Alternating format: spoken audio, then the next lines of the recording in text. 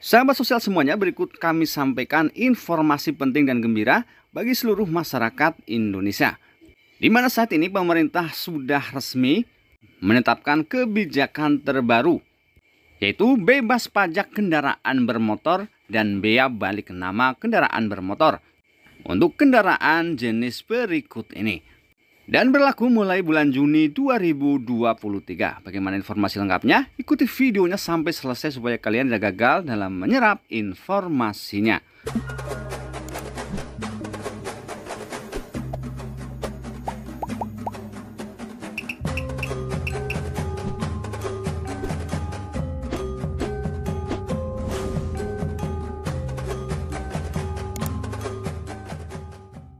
Assalamualaikum warahmatullahi wabarakatuh dan salam sejahtera buat kita semuanya. Rekan-rekan sosial semuanya, bagaimana kabar kalian? Semoga senantiasa selalu dalam keadaan sehat dan dimudahkan segala urusannya. Amin amin ya robbal alamin.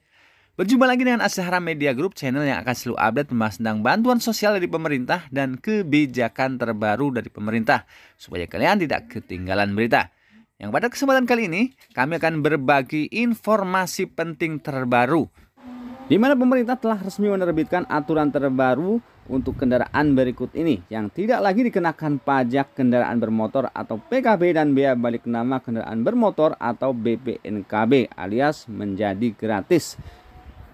Dan langsung saja kita ke informasi lengkapnya. Jadi sahabat sosial semuanya perlu kita ketahui bersama bahwasanya untuk pajak kepemilikan kendaraan bermotor akan dihitung dari berapa harga kendaraan bermotor yang dibeli oleh masyarakat jadi semakin mahal kendaraan tersebut, maka akan semakin mahal pula biaya pembayaran pajak kendaraan bermotor yang dibayarkan oleh para pemilik kendaraan tersebut.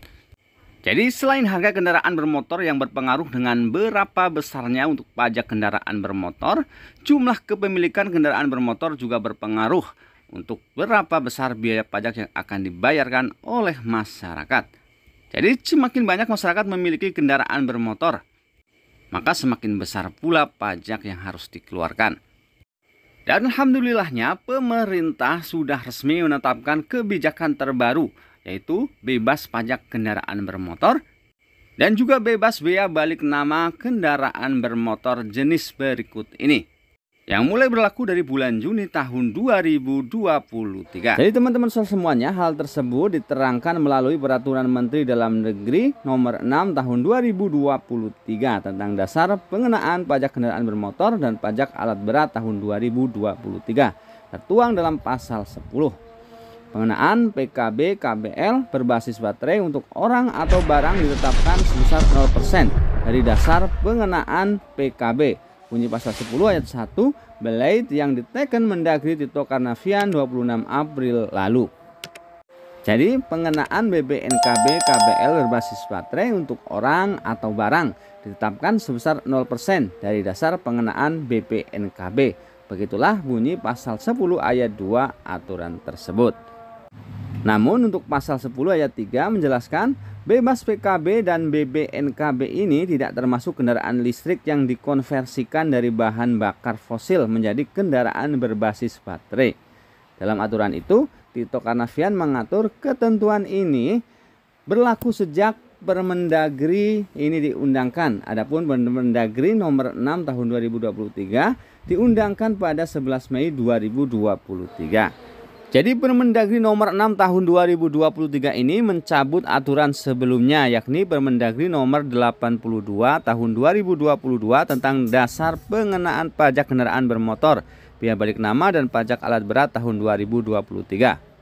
Pada aturan lama, mobil dan motor listrik masih dikenakan tarif PKB dan BPNKB maksimal 10% dari dasar pengenaan PKB dan BPNKB sebagaimana dimuat dalam pasal 10 dan pasal 11.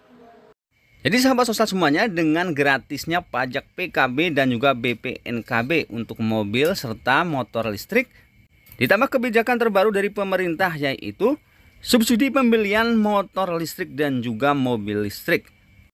Maka harga motor listrik dan juga mobil listrik akan jauh lebih murah. Jadi sahabat sosial semuanya silahkan manfaatkan dari sekarang juga untuk promo kebijakan terbaru dari pemerintah ini yaitu untuk bebas pajak kendaraan bermotor baik motor dan mobil listrik. Namun yang menjadi catatan adalah pada pasal 10 ayat 3 yang menjelaskan bebas PKB dan BBNKB tidak termasuk kendaraan listrik yang dikonversikan dari bahan bakar fosil menjadi kendaraan berbasis baterai atau yang dikenal dengan mobil hibrid. Baik sahabat semuanya, semoga informasi tadi bermanfaat. Akhir kata salam sehat, salam semangat dan salam sukses buat kita semua. Wassalamualaikum warahmatullahi wabarakatuh.